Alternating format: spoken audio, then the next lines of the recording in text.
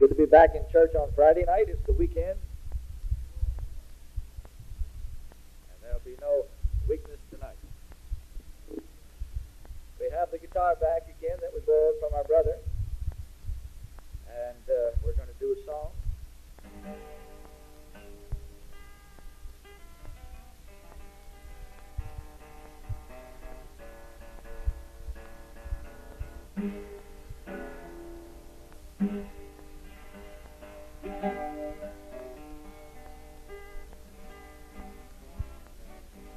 How many believes the guitar's in tune?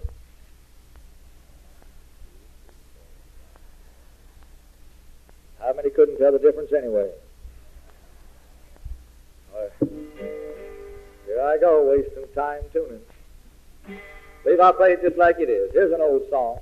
I like the old one. When I'm tossed on life's sea and the waves cover me and the dark clouds won't let the sun shine through.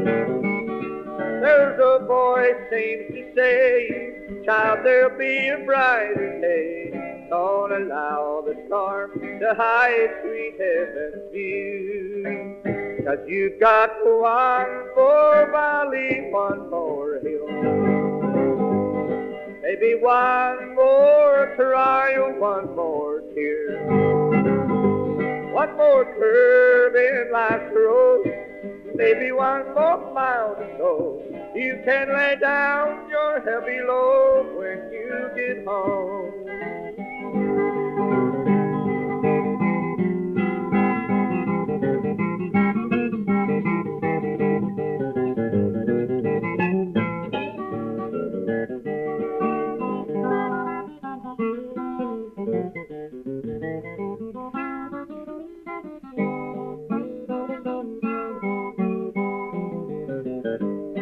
Let Satan see your fear. Learn to smile through your tears. Hold your head up high and leave the world a smile. You must be faithful all the way. Twill be worth it all someday, or it's all gonna be over after a while. Cause you got one more valley, one more hill. Maybe one more try, one more tear. One more curve in life's road. Maybe one more mile to go. You can lay down your heavy load when you get home. You can lay down your heavy load when you get home.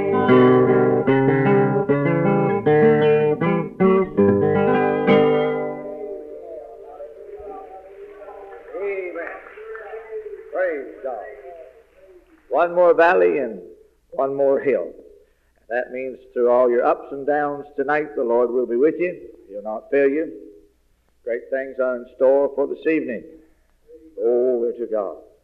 Praise His name. I love Him, don't you? Glory to Jesus.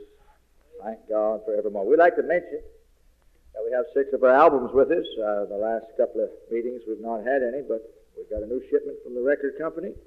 The best of the six is my wife Sylvia's album entitled Special Delivery. And it's thematic, as you can look at the picture on the front and see what the special delivery is all about. Identical twins were born on December the 14th in our family. And uh, they're pedaling around the house now in their walkers. It looks like a actual bumper car parade. Here's the one entitled Till the Lands with Two Winning Hands. That's the latest. Here's a great album called Storms Never Last. We also have I See a Bridge, Little House on Hallelujah Street, and Insured Beyond the Grave. And uh, those are the singing albums that we have with us. And for some of you that are not uh, too musical and a little bit tone deaf, we have something for you that's probably more important to you anyhow, and that is an example and a sample of our Gifts of the Spirit seminar that was recorded in the month of June in the state of Virginia at Brother Kelly's church, where the Virginia pastors had congregated, as many as who did attend. And there, for 18 hours over a four day period, each are a four and a half hour session, we talk non-stop on the subject of the operation of the nine gifts of the Spirit. How many believes that's an interesting subject to you? Now, there are 12 90 minute tapes, and uh, it's a $30 offering. One or two or three of you may have to go together to get it, I don't know. But it's a bargain because each of the tapes breaks down to be like $2 and a quarter a tape. But it's uh, non-stop teaching on the subject of the gifts of the Spirit. Glory to God. And that is something we need to know a lot about. They are sort of time capsules and condensed statements, and they're jam packed. You have to play it a few times to let it all sink in. Just add water. It's a little dehydrated. Add water to it. It'll expand on you. Amen. And so after church tonight, the little Elledge girls will have both the music tapes and this one copy to look at. We're not selling this. This is the only one we brought with us. But we've had a shipment come to the house since I've been gone. And uh, we'll mail it to you if you order it. Leave your name and address. And uh, when we get home, so as we get home, we'll send it to you in the mail. How's that sound? Amen. Do you? Sometimes they leave the uh, the money with us, and uh, they trust us, and sometimes I've had to just mail it and trust them. Sometimes that's worked, and sometimes it hasn't. And most of the time, it comes in a month late. since they've already got their seminar, but tonight I think the girls would be happy to take both your address and your offering for the seminar. Well, are you happy? This may not sound scriptural, so if uh, we are waiting for Jesus at all, it's so that all the members of the family can be saved. Here the labor is so hard, and the workers are so tired, and our weary hearts are yearning for a rest. Then we find we're getting anxious to be in that happy land where there is such peace and happiness. So wait a little longer, please, Jesus. There are so many wandering out in sin.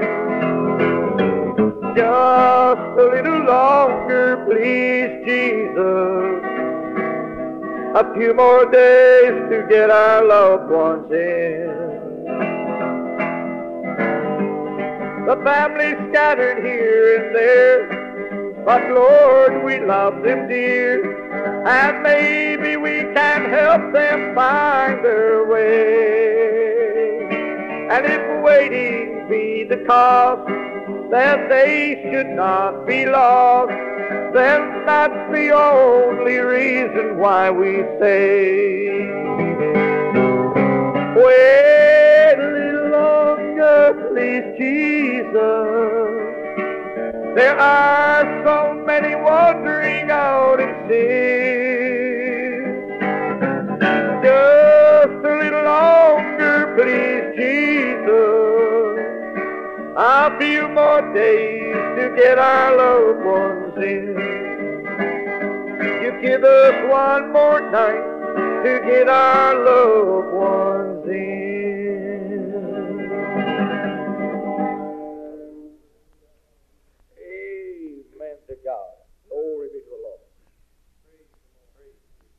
Thank you, Jesus. And everyone said, Even so, come, Lord, quickly. Make sure the family's saved and the circle is not broken before you come. Is that right? Well, it's a wonderful thing to be in church again. We don't want to prolong the music portion of this service because there are tremendous things that's going to happen otherwise in different categories this evening. Amen. My happy privilege to see Brother Green here tonight, Brother W.J. Green from Dayton, Ohio, who's with us and has been a real good friend of ours and uh, helps us here in Ohio. We want him to stand up and greet us tonight, uh, if he hadn't already. Besides, I haven't heard him if he has. So, Brother Green.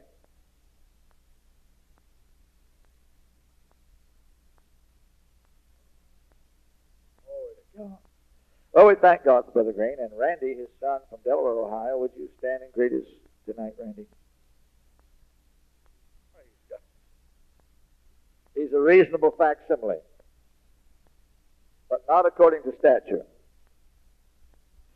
Well, you all have a great stature before God tonight. If you'd like to be found in good standing with the Lord, stand upon your feet and let's praise Him for a whole minute's worth of worship as we change the order of tonight's service and go deeper. Go farther. Go beyond anything and everything that's happened tonight so far. Go ahead and worship and adore Him. Hallelujah with a song. Oh, glory to God, glory be to God.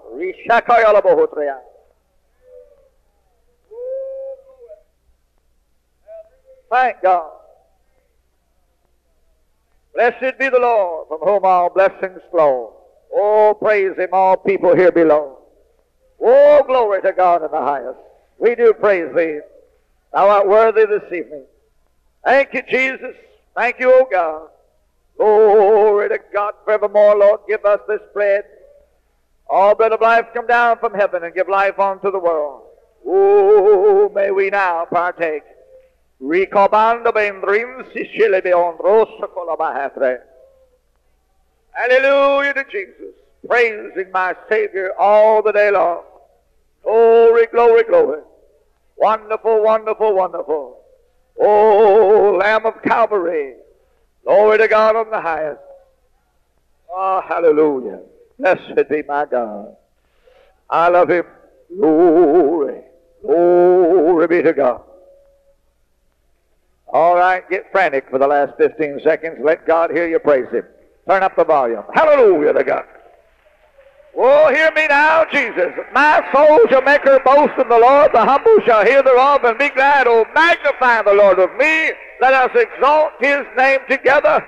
This poor man cried, and the Lord heard him and delivered him from all of his trouble. Oh, glory, glory, glory, glory, glory to God. Wonderful, wonderful Jesus. Praising my Savior all the day long. Oh, yes, now. Oh, yes, Lord. Well, I'm happy. While you're standing still, that is, still standing, in Second Peter tonight, I want to read seven verses.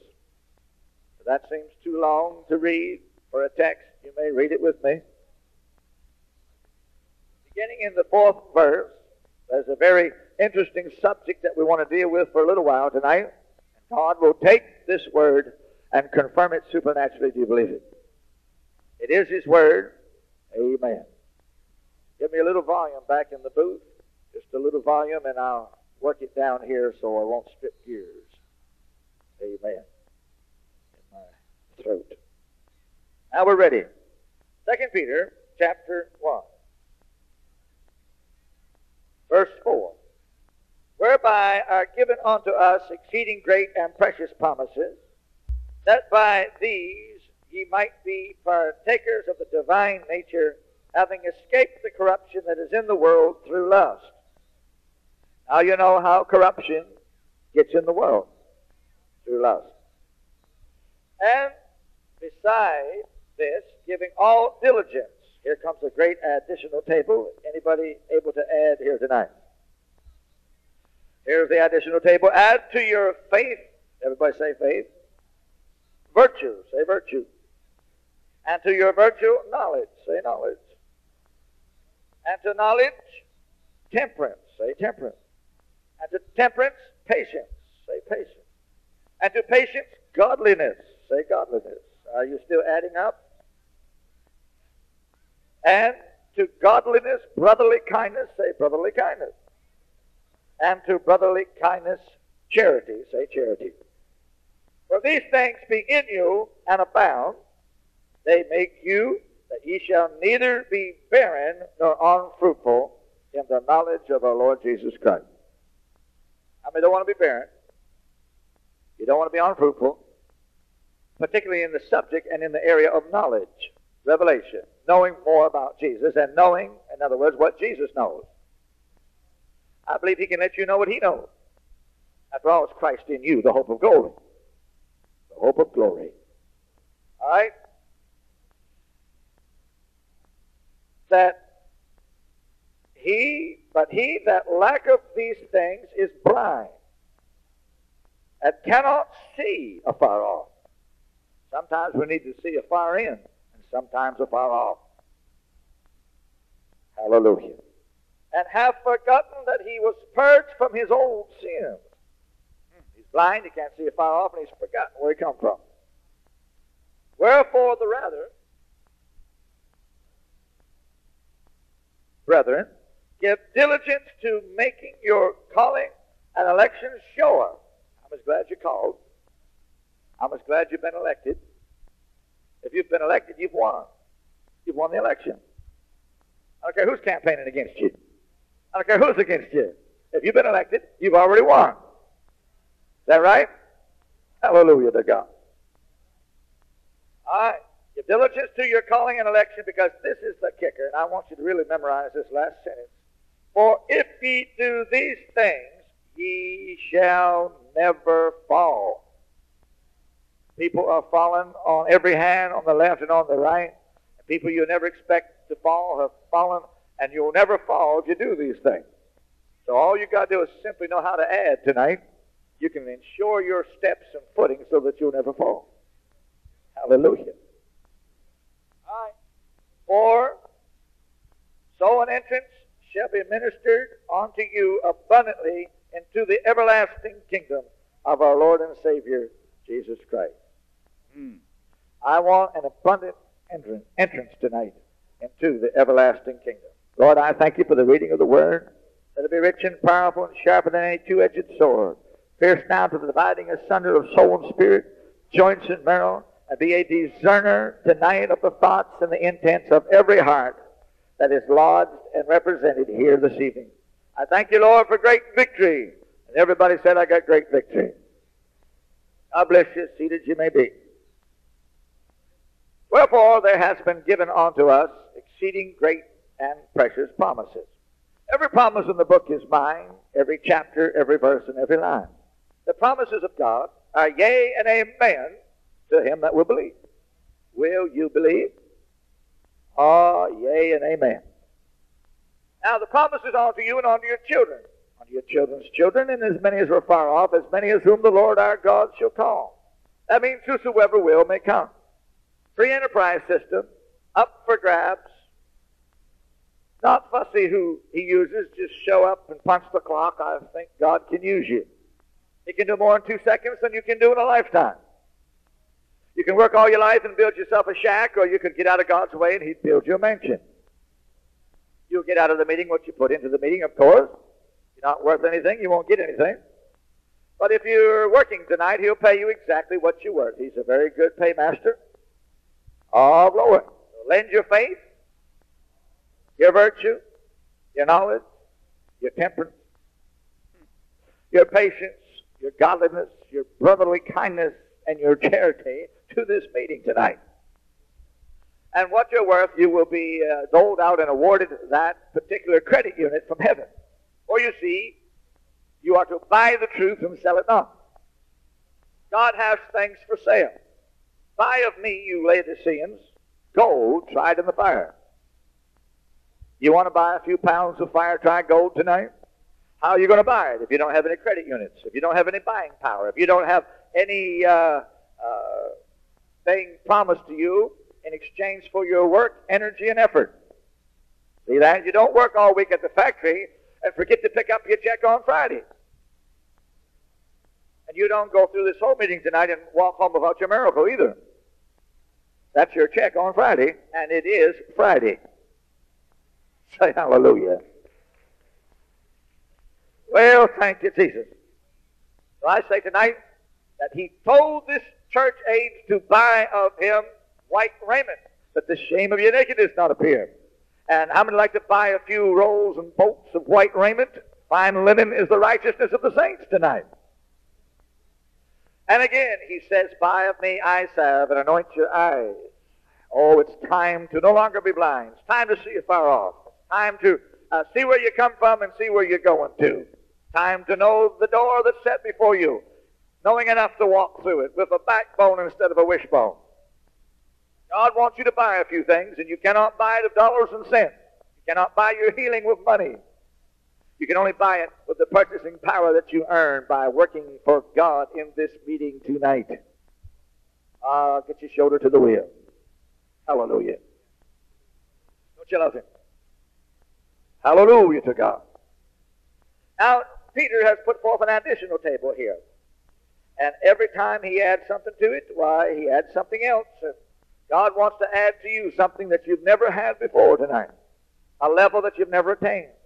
You cannot live in a rut. Anything that don't grow is going to die. First it's runted, then it's stunted, then it dies. It drops dead. Everything has to grow to live, and there's nothing that is more stenchful than a dead ministry. Every person saved tonight has a ministry. You are required before God in order to keep your salvation to preach or to teach or to witness. You have no choice but to give away what you've already got so that you may attain more that is fresh. It has to flow. It is not the hoarding principle of going into the closet and pray, pray, pray, pray, pray, store up, store up, store up, store up, come out and lay hands on heads until your storage battery runs down. It is the giving principle or the emptying out principle, being a channel, being a conduit, being a pipe, being a, a course by which God can flow through. Hook into the source, reach out to the need, and flow forever. You won't have to uh, pray for a certain number of hours, that you may pray for a certain number of people. You can hook into the source by being a channel instead of being a storage battery. Storage batteries run down, but pipes flow as long as there's a source of supply. And don't worry, this source of supply will never be exhausted. God is almighty, he the keeper of Israel, that neither slumber nor sleep tonight. He never gets tired, so he don't have to sleep. I get tired. I've been tired today. I answered the telephone all day long, all morning, and all afternoon. It seemed like I've been on the telephone. I don't know how they found me. Hallelujah. I get tired sometimes of praying for people, but he never gets tired of healing them and setting them free and giving them the miraculous. Oh, and even in time when the sun did set, they brought unto him all that were sick and oppressed and afflicted, and he healed them all. So I believe it's for the all tonight. He's able to do all things well, making, making both the blind to see and the deaf to hear. Who forgiveth all your iniquities and who healeth all your diseases. This is not a portionate God. He's an all in all God. Oh, so there are exceeding great and precious promises today. How many wants to claim a promise? I can find you a promise in the Bible, it's yours if you are mind to claim it. If I can't find it in the Word, you can't have it, but if I can find it there, you can have it. The Syrophoenician woman who came to Jesus' meeting for five nights in a row finally got in the family. When he called her a dog, she shouted, Hot diggity dog, I'm a dog. I've been trying to get in the family for five nights. I finally made it. I'm only the family dog, but I'm in.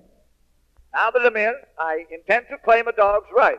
Now that I know who I am, Interestingly enough, you're not who you think you are. You are exactly what he says you are. And when you are willing to abide by the will of God, you've got two wills lined up. Then God can do something. He'll never force anything on you against your will. This is why we have perverts and reprobates today whose will is twisted, who cannot be delivered.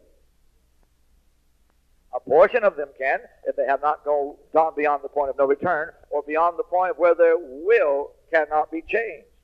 When people love what they do, and they like what they do, and they don't want to stop what they do, and they make justification for what they do under every adverse circumstance, and their will has not lined up with the will of God. Until it does, you won't receive a miracle, and you will not receive deliverance. You've got to agree with God. Hallelujah. When a man or woman's mind is twisted to the point where the will is changed, you cannot receive anything against your will. So instead of sitting back there tonight praying, oh God, oh God, oh God, don't let that preacher pray for me. Don't let him pray for me. Don't let him pray for me. Change your prayer. Change your will while you can still operate your own will and say, oh, send him on down here to pray for me. Hallelujah. God will answer whatever you pray tonight. You can claim the promise, and that's what's going to happen. I was praying for a man in North Carolina one time, and he said, Oh, don't pray for me, Brother Freddy. I don't need anything. I'm fine. I don't need prayer. I don't uh, uh, want anything. Don't need anything. Instantly, I discerned he had the wrong spirit. Because the right spirit would have said, hey, I need all the prayers of all of God's people, and I might just make it. Hallelujah. They're exceeding promises. That means God is able to do exceeding and abundantly above anything you could ever ask or think here tonight. They're precious promises. The world never give it. The world can't take it. The world can't do it. Doctors all over Ohio wish to God they could do what's been happening here the last two nights. Just think if they could do it, what a killing they'd make off of you.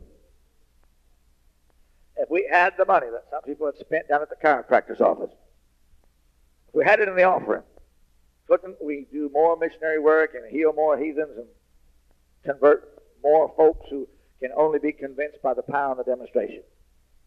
Amen. But see, in church it's different. People don't have to give to God.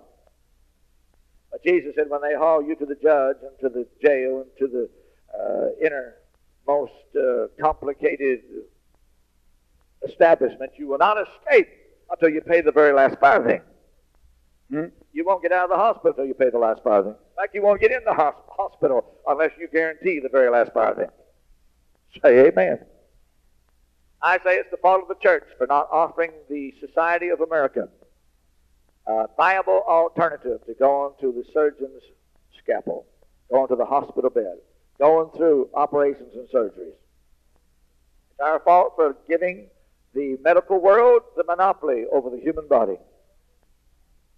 Whenever anyone gets a monopoly, well, then they'll charge you all, get out, and they'll own you lock, stock, and barrel, body, soul, and spirit.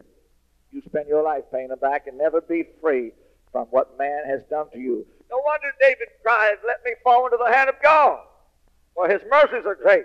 But let me not fall into the hand of man. Zip. Hallelujah. I say tonight, if there's an alternative and people know there's another way to be healed besides go under the knife, guaranteed the prices at the hospitals will come down. Guaranteed they'll be looking for business. Guaranteed they'll be looking up your name and address, wondering what new piece of real estate they need to buy and what guinea pig to operate on so they can buy it. Say hallelujah. I say tonight it's up to the church to be apostolic and quit talking about it and start doing it. Hallelujah to God. Well, I'm happy. Exceeding great and precious promises, Peter said. And uh, if you will claim the promise of God tonight, it'll make you a partaker of the divine nature. Don't you want to be a partaker of the divine nature? When you begin to exercise the word of knowledge, the word of wisdom, and the discerning of spirits, these are the three gifts that help you to think like God. When you exercise the gift of faith and the gifts of healing and the working of miracles, these are the three gifts that help you to act like God. When you exercise the gift of tongues, the interpretation of tongues, and prophecy, these are the three that help you to talk like God. Now, when you think like Him and act like Him and talk like Him, the devil better look out because his goose is cooked. It's all over but the crying. He does not want to have to come and check out this meeting tonight. He does not want that assignment, believe me.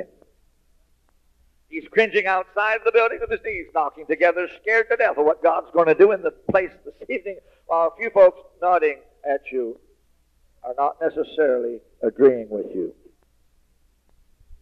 Don't think the devil don't know what's going on here if you don't. Say hallelujah. Aren't you listening? Glory, to the divine nature, Christ in you, the hope of glory, thinking like Him, acting like Him, talking like Him. Why, that's the divine nature. Don't you want to be a partaker of the divine nature? What a great, precious, exceeding promise, exceeding anything you could ever imagine. God can't do exceeding above what you can think of, well, then you could be God.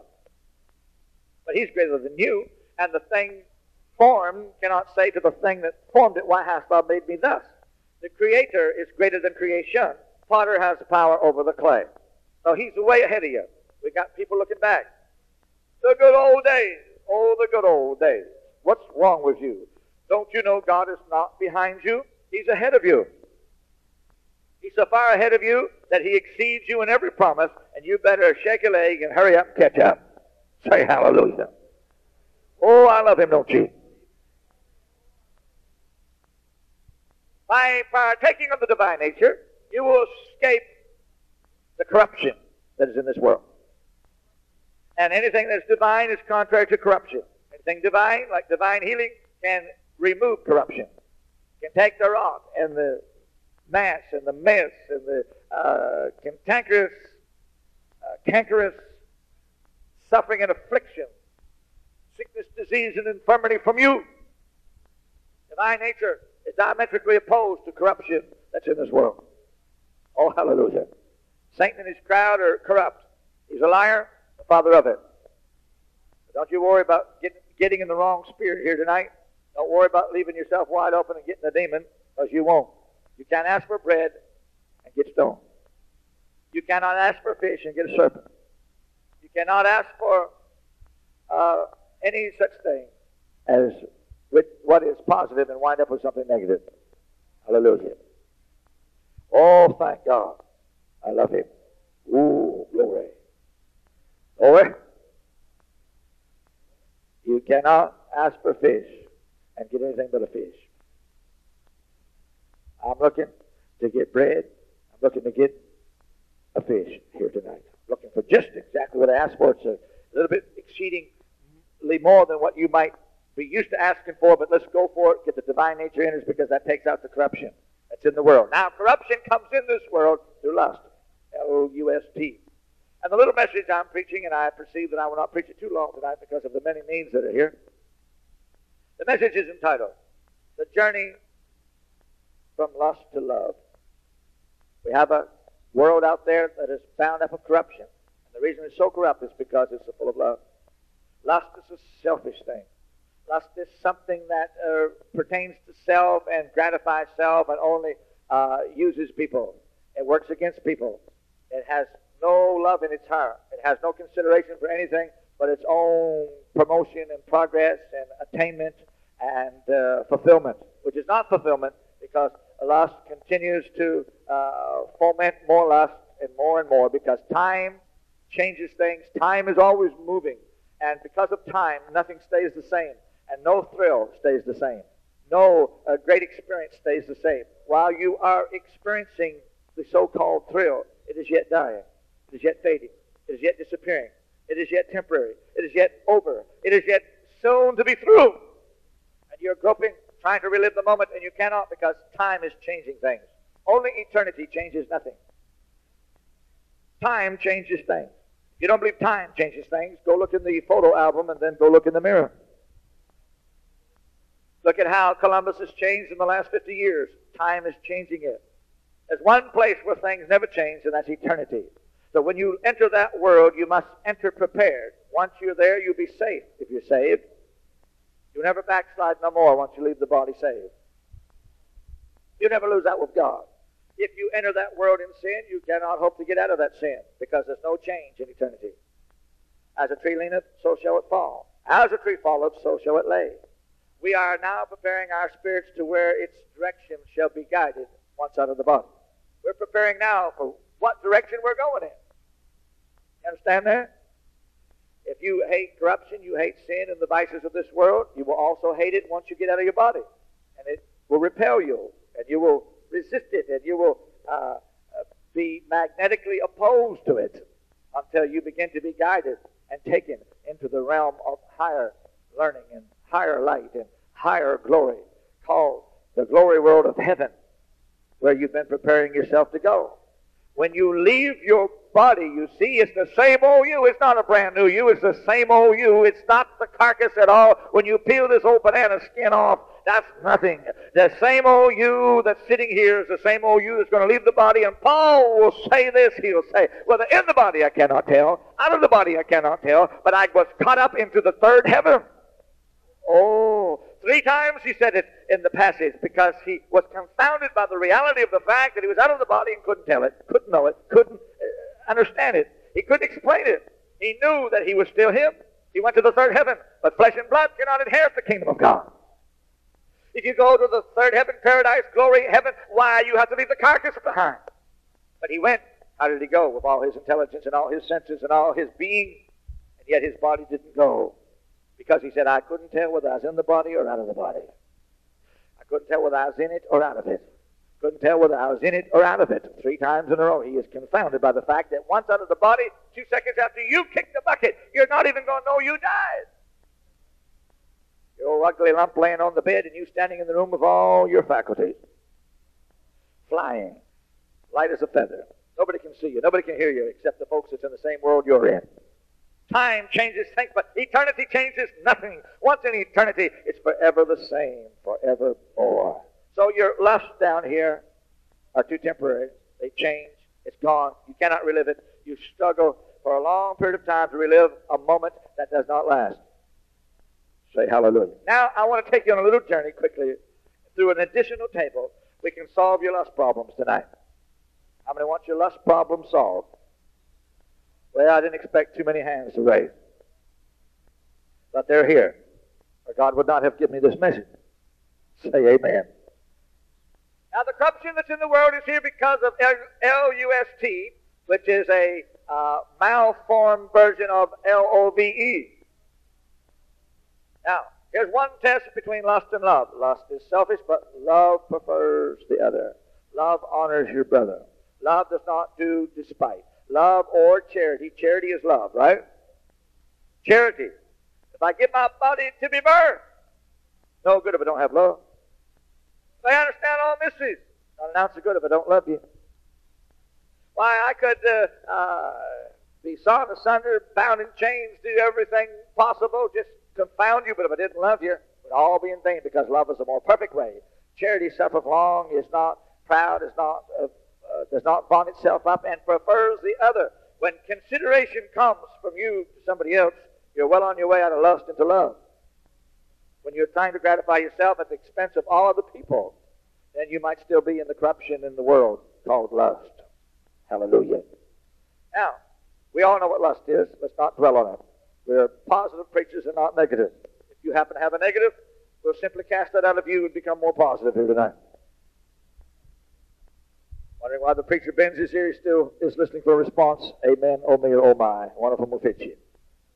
Microphone's still portable. We can still come down, pick out the quiet spot, preach. No cord on the microphone means nobody in the building can escape us this evening. Be prepared for anything. And because of corruption in the world through lust, add on to your faith. Oh, we got to get faith. Faith is crucial. Now, last night we preached before faith cometh and after faith cometh. And we talked about the temple of Solomon, of how impossible it was to get to God under the Jewish legalistic, hair splitting law. Legalists do not get the Holy Ghost. Legalists cannot work miracles. He that received the Spirit, did he receive it, said Paul in Galatians, by the works of the law or the hearing of faith? He that worketh miracles among you, did he do it by the works of the law or by the hearing of faith? The faith comes. Comes by hearing, hearing by the Word of God. Some of you may be enduring the preaching tonight, but try to be enjoying the preaching. This Word of God is what's bringing faith. This Word of God is the only thing God can confirm supernaturally with signs and wonders and miracles. He cannot confirm time and life and Newsweek magazine and the Reader's Digest. Oh, thank God. There was the outer court of the Gentiles. Beyond that, only Jews could go to the sacred enclosure. Beyond that, only the women could go to the treasury or the court of the women. Beyond that, three uh, few feet higher, every tier was a little bit higher in Solomon's temple. Beyond that was the court of Israel. Only Jewish males could go. Beyond the court of Israel was the court of the priests. Only priests could go. Beyond the court of the priests was the house of God, where only a few priests could go to the holy place, and only one priest could go to the Holy of Holies once a year. I would say to get the Shekinah glory of God flowing between the cherubims, between your rib cages. Ah, that glowing, flowing taper. If you went it, at it legalistically, you might never make it. One man might have access to it one time in a whole year. That's not the kind of God I want to serve. There's five billion people on the face of the earth, and I don't want to be left out of an exceeding precious promise tonight. I want to be a partaker of that divine nature tonight. I want to escape the corruption of the world, which is through lust. And if I'm going to do it, I've got to get faith and not legalistic works to be my answer and solution. Now I thank God for faith. Everybody knows that faith is believing God. Faith is substance. Faith is evidence. There's nothing there but you believe, believe, believe, and suddenly here comes the evidence. Suddenly out of the invisible realm of the Spirit comes the substance. Now you need organs in your body tonight? Simple. God is a spirit, and God's very essence and presence, which is spiritual, is in this place. He's everywhere present and nowhere is absent. God is Father, God is Spirit, God is here. He made you. He created you. Every cell in your body was multiplied at the point of conception. Your cells are being multiplied right now in a natural sense by a natural law that He's put in your body while you're dying on the bench listening to me. God is recreating your cells. Those dying ones are replaced every moment. Is it little wonder that He can speed up the process if you get in the Spirit where there is no distance, time, gravity, or speed? Hallelujah. Amen. Now, new organs can come. Out of the presence of God tonight, the Creator, He who created you the first time can recreate you the second time. He can add to you, uh, produce more within you, out of the presence of God if you believe Him, for without faith it is impossible to please Him. You can't get Him to do anything unless you get Him pleased first. Get Him in a pleasurable mood, please. Out of that invisible spirit comes molecules, atoms, cells, electrons, protons, neutrons, matter. Everybody say matter. It will emerge out of the supernatural realm of God Himself who is here if you believe Him for it. Faith, bringing a substance. That's faith, bringing an evidence. But there's nothing there. I know that there's no facts yet. I know there's no proof yet, but who cares? We're on the faith subject now. Faith is before the fact. You've got to believe first, and then God will show you. Don't wait for God to show you so you've got something to believe for. The walls of Jericho did not fall, so they had something to shout about. They had to shout first, and then the walls fell down. Faith comes before the fact. Everybody's got 20-20 hindsight. We need foresight and insight. Before anything happens, we want to believe God. But there are people that will, uh, this is the true test, you see, to believe before anything happens. There are people that will give to God as long as they found out they was healed and received a great miracle. They give the same old George Washington, the major supporter of Pentecostal church, before they are healed or before anything happens to them. See, their faith breaks down before the fact. Have uh, faith before the fact, and then you have great and exceeding and precious promises that will be your portion tonight. Hallelujah. Is it right? Are you happy? Whoa, glory be to God. So, faith will bring out of God what you need. Add to this faith. If you already got some faith, then you must have some because we preached for a few minutes. Faith coming by hearing.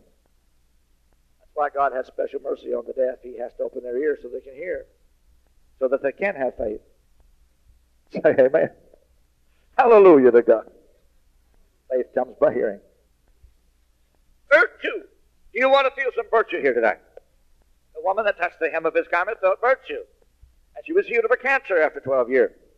She had 12 year old death, one drop of body, blood left in her body, and she had suffered many things at the hands of many doctors. Neither could be healed of any. They took all her money. She was penniless. She was bloodless. She was a dying. She tried her last effort to get a hold of some virtue. And if you have a little faith, then you have to add to it right now virtue. So start becoming virtuous. I would like to be virtuous. How do I do it, preacher? By getting some virtue out of the hem of his garment. Touch him as he passes by. Reach out and touch the Lord even now. Virtue will make you virtuous. Hallelujah. Oh, thank God. Who touched me? Everybody touched you. This touch was different. It was a touch of virtue. A touch of faith creates virtue. You must add virtue now to your faith. Oh, you do want to get out of your lust and enter into great love. How many would like to start loving for a change? Love is the most strong, powerful thing. And there's a route and a pattern to follow to get out of lust and start becoming uh, one who has love. And it is this virtue has got to accompany your faith. And it's being added right now. I perceive it.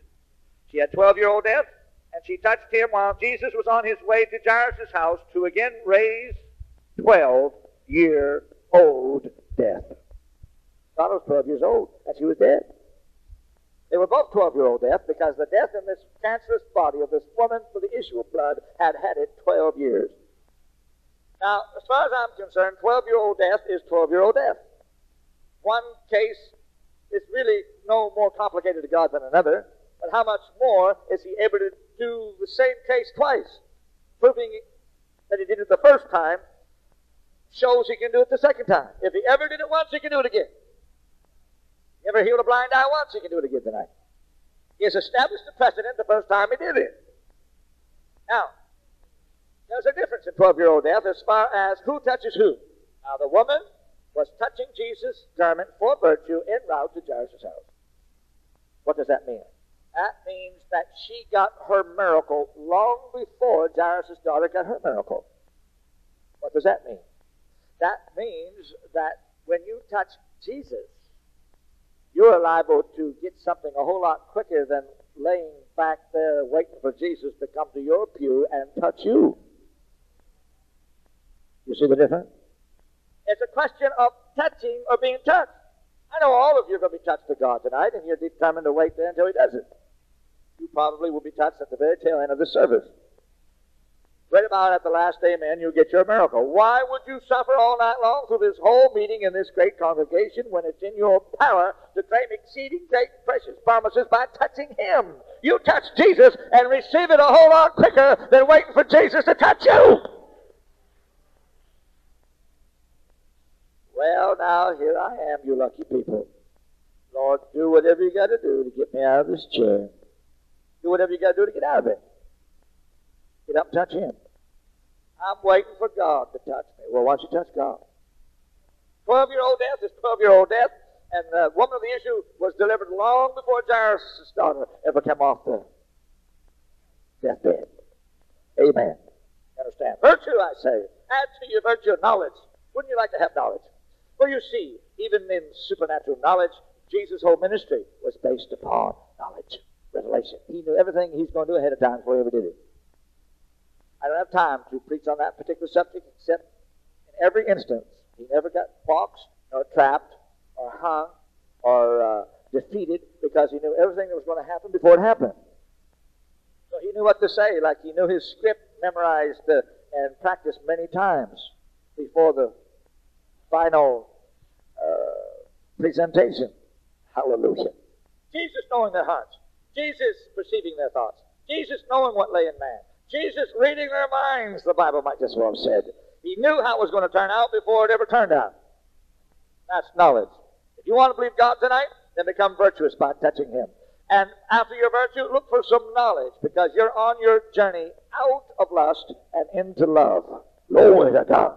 There's only one journey that will guarantee it because I found scriptural text tonight for it. I located it on your behalf, so for goodness sakes, claim it and receive it. Because it's high time you started loving. And it's sure high time you stop lusting. Over to God. Knowledge. Add to your knowledge temperance. Now, temperance is the middle of the road. It is balance. I believe, I firmly believe that the word balance is the major, number one, most important word in the English language. Balance. Everybody say balance. You're not a fanatic, you're not an extremist when you're balanced. I believe I'm bold, but I don't believe I'm reckless. I believe there's a ditch on this side of the highway called formalism. I believe there's a ditch on this side of the highway called fanaticism. I believe the in the middle of the road, there's a line to walk. I believe the middle of the road is always highest in the center. Check it on your way home. That means every time it gets dirty, a good rain comes along, it washes it off, and guess where all the debris goes? Into the ditch of formalism or fanaticism. Don't you want to stand on higher ground? Then get yourself in the middle of the road here tonight and get balanced. And temperance is a fruit of the Spirit. You have to add temperance onto your knowledge. You can know ever so much, and it wouldn't do you an ounce of good if you didn't know what to do about it. Hey, classic example. Old Sister Jones, back there in the back of the tent, has a bad heart. Word of knowledge. Supernatural revelation of natural things from the physical world. Not doing me ounce of good or anyone else of good to know it unless we know what to do about it and can do something about it. Now, what do we do about it? Enter the next gift of the Spirit, the word of wisdom. How to apply or what to do in a given situation. Shall we have a, lay prostrate on the floor? Shall she fast three days? Shall she go see the doctor? Should she stand up and receive? Should she get a spoken word? Should she run around the tent seven times? You're applying now something to your knowledge, connecting it to old Sister Jones's action, that she may respond to the forthcoming miracle. Let us say, in the hypothetical case, that she is supposed to run around the tent seven times, okay? There she goes. Doctors who said, whatever you do, take 17 pills, lay home in bed, and don't breathe, and whatever you do, don't go to those holy roller meetings. If the doctor had seen her running around the tent, he'd have had a heart attack himself. There she goes, a chugging and a plugging and a huffing and a puffing, and all of a sudden, the working of miracles hits her. Boing! It catches up with her. Well, you see, you cannot divorce or separate one gift from another. They dovetail and they're interwoven. You have to uh, have the Word of God to finally decree and discern between joints and marrow and body and spirit, soul. So now three gifts have happened. Word of knowledge, bad heart. Word of wisdom, run around the tent. Working of miracles, instantaneous new heart, healed. She may have been also, in a hypothetical case, crippled in a leg and uh, God started to restore the leg while she was running, and it was progressively restoring, so therefore it was not a miracle but a healing. There's four gifts already operated in the meeting. Gift number five. Uh, while you were praying for her, you discerned that she had a lying spirit, or she gossiped on the telephone every day. Lying for the glory of God. Stretching the truth for God's glory. The truth of God abounds through my lies, said Paul. Why am I yet judged a sinner? Well, it wasn't in her soul, particularly in this case, discerning of spirits, which is another gift of the Spirit, said it's only upon her. It attacks her. It oppresses her flesh from the outside. There is a difference between oppression and possession. There's a difference between your soul and your body. Your body is corrupt. It's of lust. Corruption in the world is because of lust. Your body is going to the grave, it's dying daily, it's going to perish. Your body is not redeemed. Now, when you get a glorified body like Jesus had when he came up out of the tomb, come up and show me and say, Brother Freddy, you see my body's redeemed now. And I'll say, Amen, you're right, it is. We used to have a problem with preachers who preached that doctrine, eternal life in the flesh. Of course, you don't remember that. You're too young. The only problem with the doctrine of eternal life in the flesh was that all the preachers that preached it are now dead. Are you listening? I submit to you tonight that the only part of you right now at the present moment that's redeemed is your soul. The inner man, the real you. Now that the devil cannot touch if you're saved, but many are the afflictions of the righteous. But the Lord delivers him out of them all. When you get a glorified body, you won't have to worry about afflictions, nor lust, nor anything else. There's two of you, you see. I said there's three beyond body, soul, and spirit. Well, when your body dies, rest assured, two of you will not be leaving your body. Only one of you will be going. Now you figure that out. Oh, thank God for the eternal soul of man that's redeemed. The body is not redeemed yet. Are you listening? Are you enjoying this? Now the the discerning of spirits, said old Sister Jones, as this lying spirit is not in her spirit or soul, it is upon her, it influences her, it buffets her from the outside, and hence I gifts have already operated. Hmm? Now, gift number six could have operated in the hypothetical case, and you could have said, in the future, Sister Jones, in three days, the doctor will call you and he will examine you and find by x-ray that you have a new heart. That's future, that's prophecy.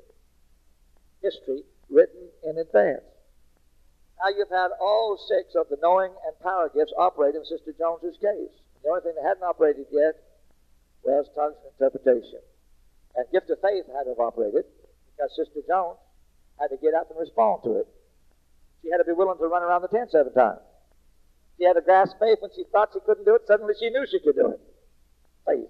The gift of faith. God's faith. Beyond you. Beyond your measure of faith. God's faith. Every good and perfect gift comes down from above, from the Father of lights, in whom there's no variableness nor any shadow of turning here tonight. Here comes God's faith. It's a gift. Now you've had everything but tongues and interpretations,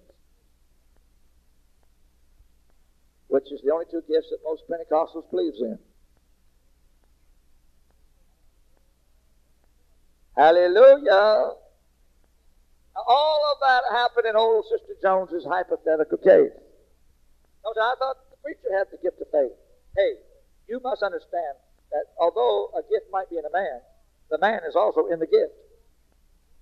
As God was in Christ reconciling the world unto himself, Christ was also in God.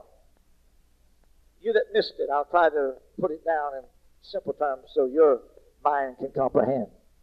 The fish is in the ocean, and when he got thirsty and took a big drink, the ocean was in the fish. Hello. You get it that time? I beg your pardon, but there's some water missing out of the ocean, Brother Freddy. I am a technical exactor and scribe. Uh, what's missing? The fish's stomach full is missing, of course. Well, where do you think the fish is? He's in the ocean. Say amen. What we're saying here is God is in Christ, Christ is in God after that fashion. God is Father and Spirit, Christ is body. He is the Son of the living God. He is the fullness of the Godhead bodily, the image of the great invisible God. Now, same way with the gift of the Spirit. Uh, you have a gift working in you, but then you're in the gift, for it is one Spirit diversities of operation. It is only an extension of the baptism of the Holy Ghost that you already have.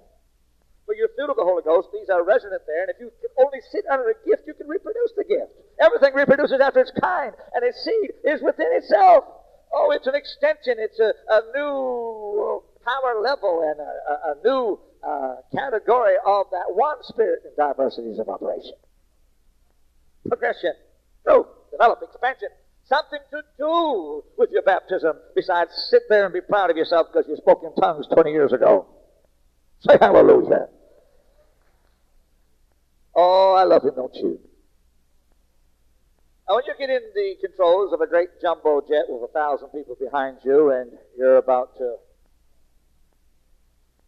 crash land and you go paranoid, wish to God you'd have learned how to fly this thing better than you did before they put you in the cockpit. Say amen. This thing is bigger than you. And when you get in something that fills the whole atmosphere and the whole environment is up above my head, there's music in the air, and uh, everybody within earshot and eyeshot is affected by this gift that's moving. You know that you couldn't possibly contain it in the six foot frame of a man. It's in you, that's true, because you have the control. Better know what you're doing, or we're going to have an awful lot of tragedies here. I said, anything bigger than you can knock you on your noggin. That's why you just don't grab a hold of this thing too quickly. It's a slow and orderly growth, and, and you have to adjust to it and push it to your perimeter. Don't step outside your boundaries. Stay within your circle and let God keep expanding your circle, and stretching your abilities and your power levels that are added to you daily and constantly and uh, periodically so that you may stay alive through your growth and not die because of a lack of growth. See that? So it's a very precarious position that you're in. You're operating in a gift, and you have to know just what you're doing because uh, it's affecting a whole lot bigger area than just what spot you're taking up here on the planet. See that? Somebody said, I see that. I was hoping that somebody would. Hallelujah. I love him, don't you? Oh, thank you, Jesus, for the blood. Glory to God. If you could sit under healing, you'd reproduce healing. You could sit under tongues. You could probably talk in tongues. You know it's the truth. You can talk in tongues because you've been around Pentecost tongue talkers all your life. You no hang ups over that. You got no mental blocks. You got nothing that keeps you from doing it. Well, you just think that's normal church. That's just ordinary worship. Hey, uh, that's what it's supposed to be. I, I don't even question that. That's uh, just childlike faith. Why don't you heal the sick? That's Pentecost too. That's apostolic too. Why don't you heal sick? Because you haven't sit around healing, haven't sit under healing, haven't seen healing, haven't been near healing. You cannot reproduce it without a seed. It fathers you, mother. As a gift begins to operate, which is bigger than you and I, it drops a seed in your spirit, and you're impregnated by it. And now you feel it growing in you. One, you might have sat there for six months, six years, and never received a thing. You were barren. You were unfruitful because you're not partaker of the divine nature. Say hallelujah. Well, you might sit there six minutes and your timing was laid on. You were now fertile, you were hungry, you were open, you were receptive, you were ready. Timing is the key to every supernatural event. Boy, the seed is sown. I feel an embryo forming.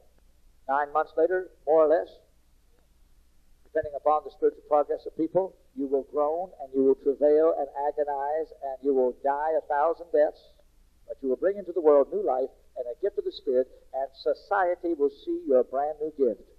It's just a little baby, yeah, yowling and squalling and carrying on, and you don't expect that little baby to raise 13 corpses in his first year. Say hallelujah. It ain't a big thing, but it's growing. But at least it's alive and it's moving. And now, chronologically, according to its age, as it exercises and as it's fed and as it matures and as it grows, it takes on more capability and it can do more and more the older it gets. And you don't expect out of a child what you expect out of an adolescent. You don't expect out of a teenager what you expect out of an adult. Oh, the slow and orderly growth of the kingdom of God, the blade, the ear, the full corn in the ear, planting and power watering, and God giving the increase here tonight. Glory to God. While your little child, your gift, the gift is a child, while it's growing and adding year to year to year, while it's maturing and growing up, make sure you add to its faith virtue. Make sure you add to its virtue knowledge. Make sure you add to its knowledge temperance. And to its temperance, patience. That's where I think where we left off. Someone said, I'm praying for patience. Well, you'll get tribulation. Be careful how you pray. I don't have time to, to, be, uh, prolong this much longer tonight. But you do need patience. You need to wait, I say, upon the Lord. They that wait on the Lord renew their strength. And mount up of a wing as of an eagle. They run and not be weary. They walk and they are not faint. And teach me, Lord, to wait. Don't say, God, I got two minutes. Can you bless me in two minutes? You say, nope. Wait on me. The longer you wait, the stronger you get. They that wait upon the Lord renew their strength. If you're wiped out tonight and exhausted, just wait in His presence. It is impossible for you uh, not to wait here and not to receive new strength. The longer you wait, the stronger you'll get tonight. That's the Word of God. That's truth. Wait, I say upon the Lord. Uh, add to your patience godliness. How many wants to be more like God? If you really want to be like God, get the gifts of the Spirit in you. That's how God likes to move. That's God moving through you. Someone said, Well, I've got God. Prove it. I got faith. James said, Show me your faith, and I'll show you my faith by my works. Believers, people with faith, they do things. We got all kind of 157 varieties of Pentecostalism today, and charismatics went on down to the Jews of Pentecost. Spiritual Judaizers. One extreme to the other. Hallelujah. They'll tell you, I'm a believer. Oh, you are? I say, prove it. Hallelujah. What do you mean you're a believer? Well, I, am a, what, I, what they're really saying is I'm a subscriber and I'm an adherent. I'm in agreement with what's going on. I'm not opposed to it. Well, I'll give them a, a, a, the full benefit of the doubt. They, as a believer, believe that they're in church and the pew is holding them up about all they're believing for, is that the, the pew is holding them up.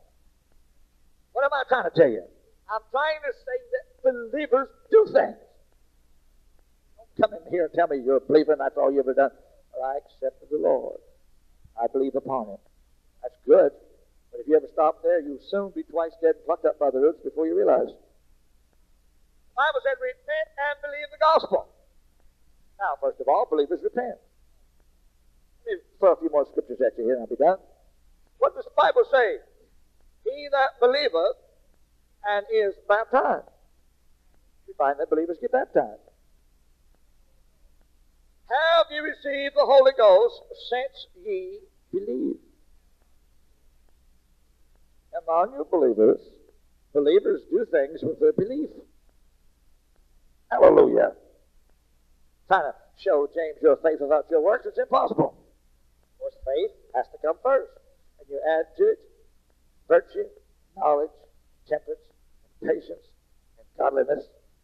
Those are the works. Works of godly works have got to come in here. Hallelujah to God. Now he, that believer, has something else going in his favor. These signs shall follow them that believe. All right?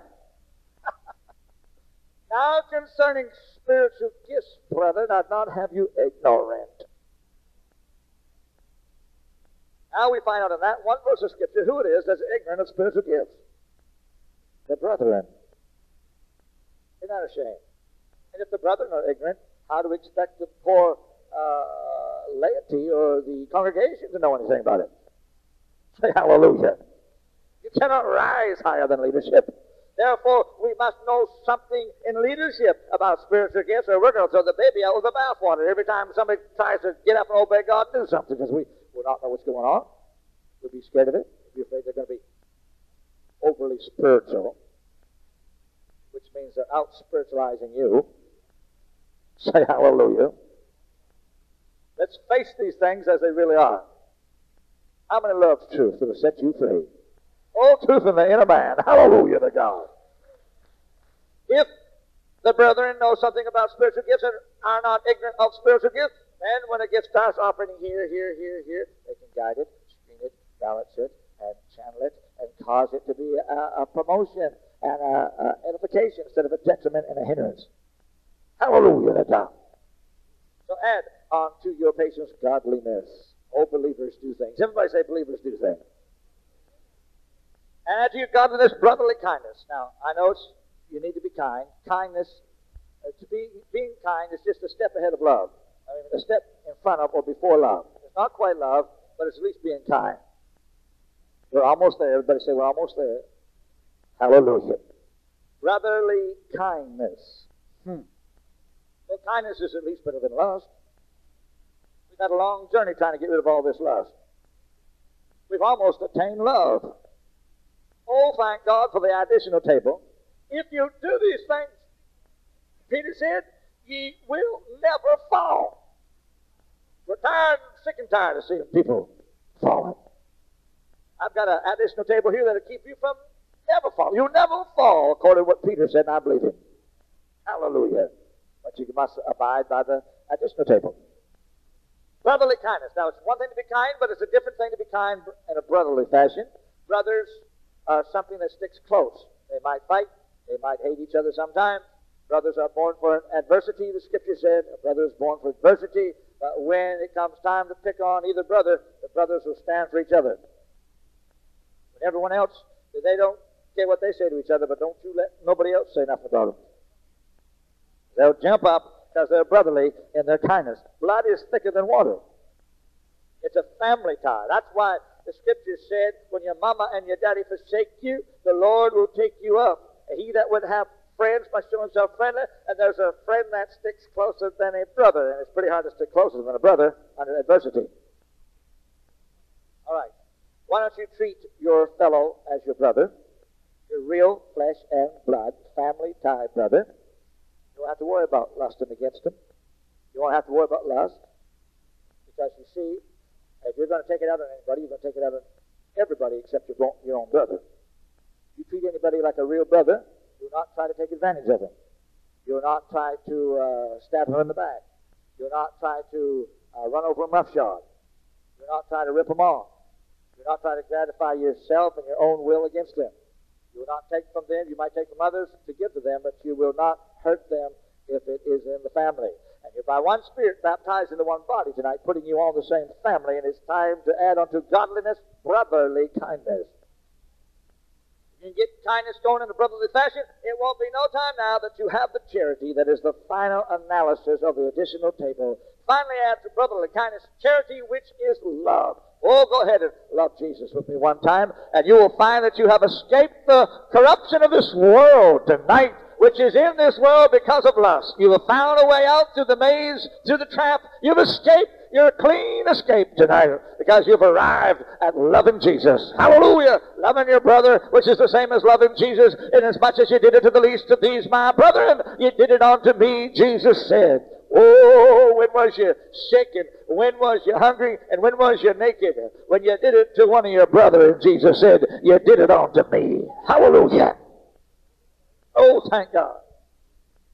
Verse 8 said, if these things are in you, how many wants them in you? Oh, glory to God. If they abound within you, thank God. You'll never be barren. You'll never be unfruitful. You will always have knowledge, the revelation of Jesus Christ. It'll always be there. And if they're not in you, said the next verse, you're a blind bat. If they're not in you, you can't even see afar off. You can't even see close up. You can't see, period. I believe we need to see in the other world. Not just in this world, but in the other world. We've got to be able to see. We've got to be seers. We've got to have revelation. So we've got to have this additional table added to ourselves periodically that we might grow and not die. Periodic growth. And if it's in you, fine. If it's not in you, terrible. Chase it. Pursue it. Go for it. If ye do these things, you'll never fall. So I plan on doing something that's going to keep my feet solidified so I'm not a slip fall.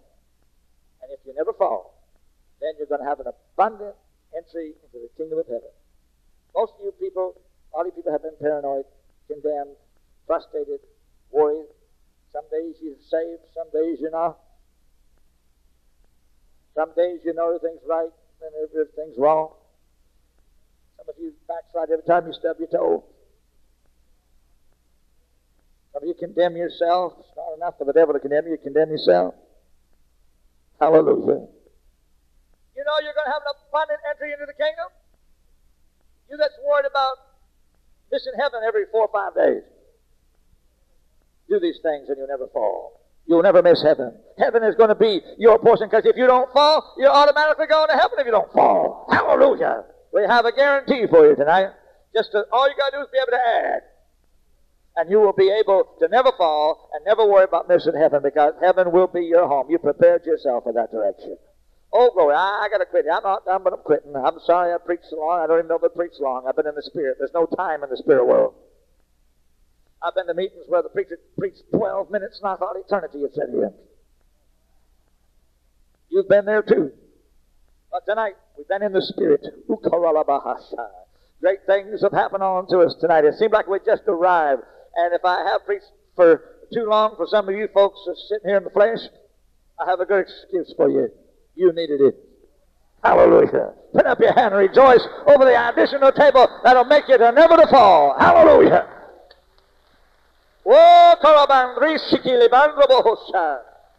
Oh my, didn't it rain? Oh, I thank you, Jesus. Everybody said it's real. Are you happy? Oh, glory to God.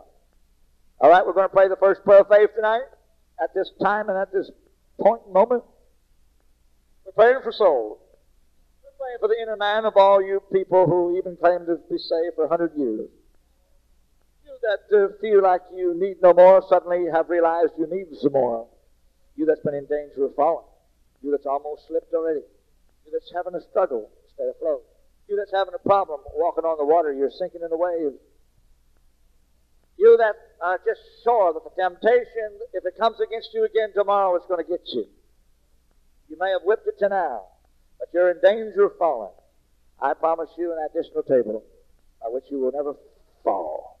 You will never fall. You will never miss heaven or, or, or fail to make heaven if you do these things that was preached on tonight. This is an exceeding promise. It's a great promise. It's a precious promise. It's beyond your comprehension up until this sermon to know that this could happen to you. But now you've heard it and you know it can happen to you. Hallelujah.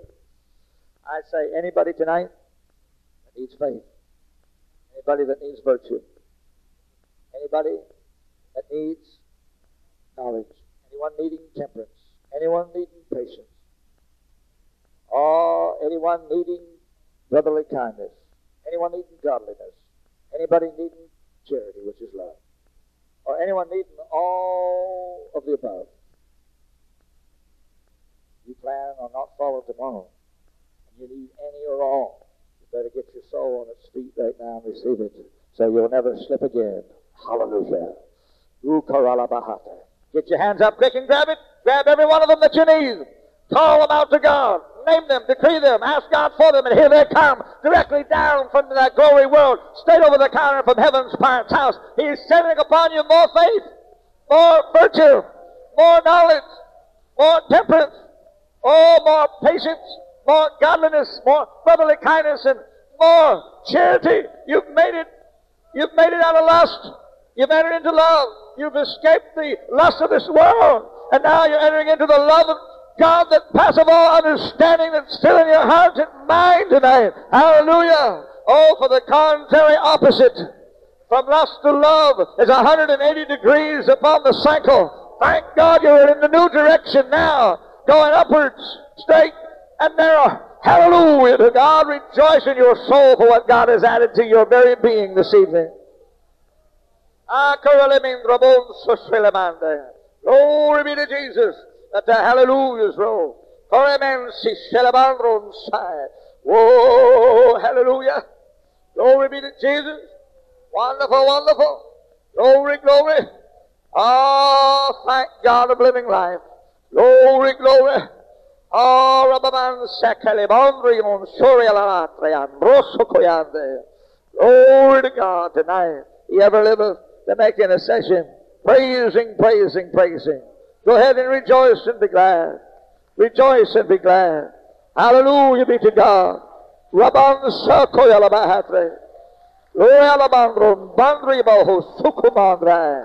Glory, glory, glory. Wonderful God, wonderful God. I praise thee, O Lord, for what you have done, even for these souls and what you've added to them. Thank God they're growing and they're not dying now. You don't grow, you die. But you had to grow tonight because God added something to you when you stood. Hallelujah. Oh, thank God. I'm glad He's adding something to me. Praising my Savior all the day long. Glory to God. Thank you, Jesus. Thank you, Lord. Hallelujah. Glory be to Jesus. Let the hallelujahs roll. Rejoice for a few more seconds while the order of the service is changing to a higher level yet, where God confirms His word supernaturally. Hallelujah. It could have happened at the beginning or in the middle, but tonight is happening in the conclusion. But don't worry about it. It's in the perfect timing. That's how God wants it. Hallelujah, hallelujah. Wondrous, wondrous Savior. Glory to God in the highest. I love Him. I rejoice in him, Praise praising God of life. Hallelujah to God. Ah, didn't it rain? Hallelujah. Are you feeling the power of the demonstration? Has it been tremendous up to now? There's more, and yet there is room. I like that verse, and yet there's room. There's room for more of God tonight in your life.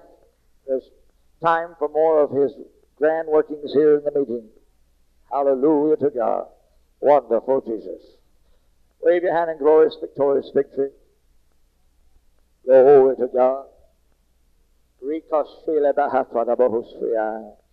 Thanking God. Thanking God. Oh, wonderful, wonderful Savior. Glory to God forevermore, Lord. I love thee. How many can raise your right hand and say, I've been prayed for in the last two nights of this meeting, one night or the other. I, I, I had prayer. I, I, was prayed for. If you've been prayed for last night or the night before, hold your hand up. Glory to God. How many received something when you was prayed for? Keep your hand up if you did. Drop it if you didn't. How many still got it after one or two days? You still have it? Keep your hand up. If you lost it, you can drop your hand, but if you still got it, keep your hand up. Oh, that's glorious. Hallelujah to God. Wonderful Jesus. Go in.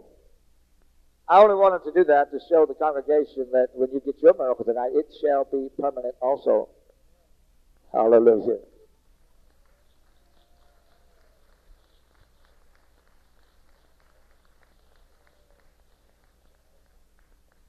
Someone said, What you doing right now, Brother Freddy? I'm just waiting on God for the green light to come on and the level of the service to rise one more degree and the order of the service to change into what God is trying to do now. Hallelujah.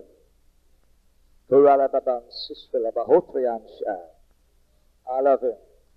I praise him. Glory be to God. Thank God, thank God. Can I step in there just one moment? I see a sister that I'm going to pray for first tonight. And it's you. I'm going to ask God to touch you tonight in your body. Turn about. Come and follow me. Glory to God. Your step of faith that you have taken has now allowed you to receive healing. You've been healed before. God's touched you before. But you need another physical touch tonight. You've had recent stress in your back. That true? Follow me. It's gone. You're healed in your back.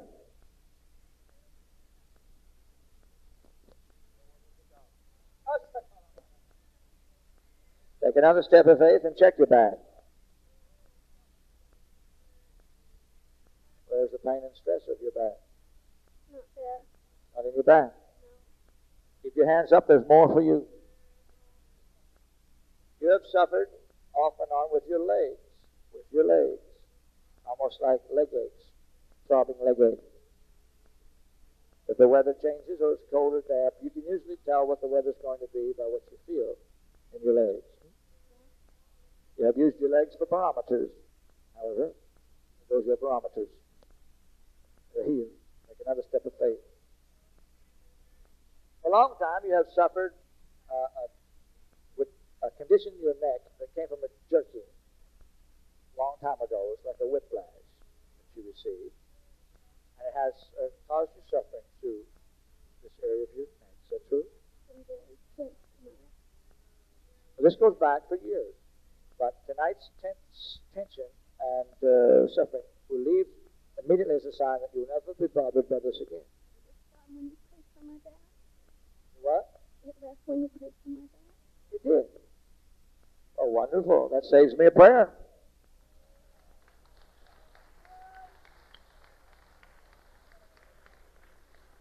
Now, suddenly, my little sister, your whole life is unfolding here like a book. Shall we read the book? You wish. Hmm? Well, God wishes to tell you more. One is concerning the physical sinus condition of your head. Went to the doctor's last week because I had a sinus infection. Would you say good and loud now? I just went to the doctor's last Friday because I had a bad sinus infection. Well, what did he do for you? Medicine? Kind of spaced you out a little bit, did it? Never got rid of the sinus, just doped her up a little. Doctors are professionals at making uh, legal dope addicts out of you. But you're all right since you have a prescription, see? I know people that go to church and pop seven pills before they go to church and get out and testify. Uh, preacher, uh, let's pray for all the drug addicts in Columbus. All that medication and drugs can do for you is dope up the pain, but you still got the pain. The doctor didn't take the pain, he covered it over. God is sick of covering things up. Say hallelujah. Oh, you believe your sinus is being healed too? Yeah. You're right. Now, you also have a little bit of fear of the doctor in the hospital. Now, the next time that you go, you will not be afraid, and you'll be calm as a cucumber. And you will have no complication, says the words over your head. No complication, no complication, no complication. You happy? And you know what that's all about. Hmm? Take another step of faith. Now God is dealing beyond your physical. He's dealing with your spiritual life now.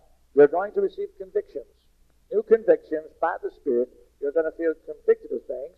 God's going to speak to your heart, and you're not going to obey man, but you're going to obey the Spirit of God in things that God will now require of you as a separate person from the world. Understand that? He's been dealing with me the last two weeks about this. been dealing with you about these things for the last two weeks. I told you the book was open here on her. Say amen. Some say, what is this going on here in this church? It's not but one of the nine gifts of the Spirit. Oh, the word of knowledge, a supernatural revelation of natural things from the physical world, past and present. Supernatural revelation of the future, of course, is prophecy. Look here. Ah, you have a little ministry that God is giving you. After tonight, you're going to enter into prayer, a prayer ministry, a new prayer ministry.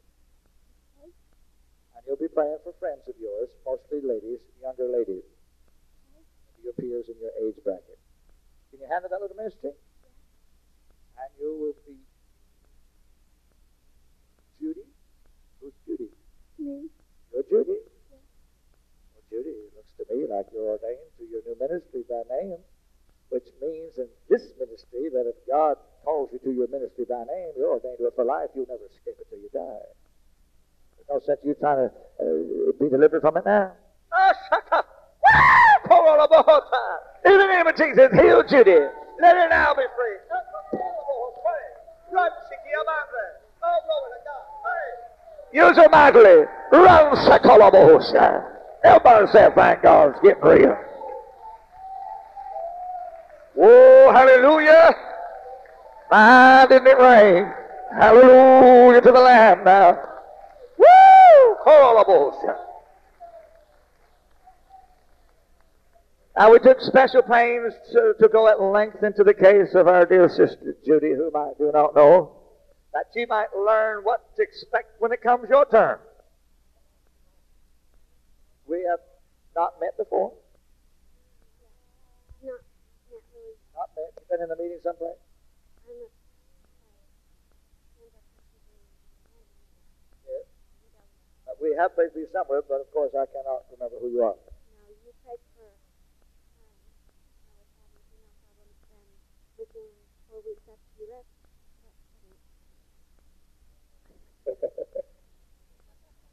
oh, I love it. Now, the abortionists, they wouldn't like to hear that. These, uh, uh, this crowd that uh, has got you brainwashed into thinking that you shouldn't have children. Mm. So when you're old and sitting in a old age home and no kids to take care of you, and you fall out of your chair and lay there all day before some old cruel person decides to pick you up. Are you hearing me now? I said, God ordained for you to have children. I want to tell you this. I have to tell you the truth. One of the perimeters of this ministry includes, within the perimeter of this, ministry, uh, God has given us the grace and the power to pray for the barren womb and God to bring it to life with childbearing. I don't know. Maybe one night I'm going to pray for that here. All you women that can't have babies may start having babies. Abraham prayed for Abimelech and all his house and all his servants. And he prayed one prayer, and, and all his cattle, every one of them started having offspring. They all started bearing. Say hallelujah. Say thank you, Jesus. Hallelujah. Pray. Every church I go to, and I go back to, someone comes up and says, You know, I could never uh, get pregnant. I could never have a child. And now I'm going to have a child. Hallelujah. Or they come up and pass the baby and say, Take this baby and pray over it and bless it. Uh, let the blessing of God be upon it because I never could have that baby before. Say amen. Aren't you? You're glad about this, huh? Yeah. Now listen, I don't have a clue who you are. I wouldn't have known you from Adam's house cat. That's right. God has healed you. He's opened up your ministry. He's called your name that you might do that ministry. He's promised you no complication when you go to the hospital. And you who are barren have now become fruitful because God